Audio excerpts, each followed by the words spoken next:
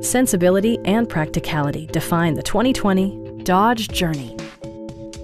It features an automatic transmission, front-wheel drive, and a 2.4-liter four-cylinder engine.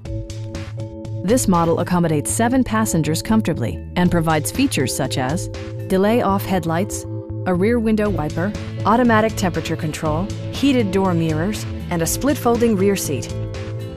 Premium sound drives six speakers, providing you and your passengers a sensational audio experience.